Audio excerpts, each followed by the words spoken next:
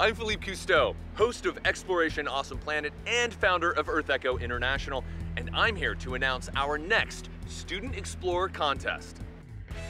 This season, we're giving one lucky student the chance to join me on an all expense paid trip to Fiji to participate in an ongoing coral reef restoration project.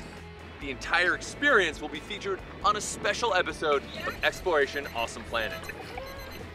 This contest is open to students who are passionate about both earth science and exploring our world. To enter, make a video no more than three minutes in length answering these three questions.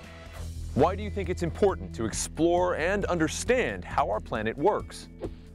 How would this experience help you become a better explorer and citizen of our planet?